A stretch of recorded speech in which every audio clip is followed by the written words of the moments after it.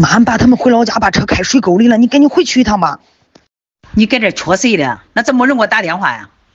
真的呀，人家说你电话打不通，所以通知我了。我会拿这事儿开玩笑吗？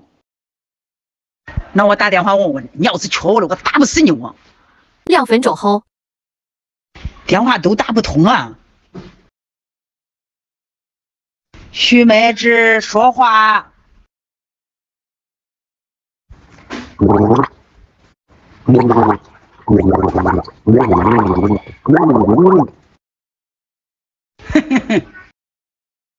你爷俩个是比吧？啊？尴尬不尴尬？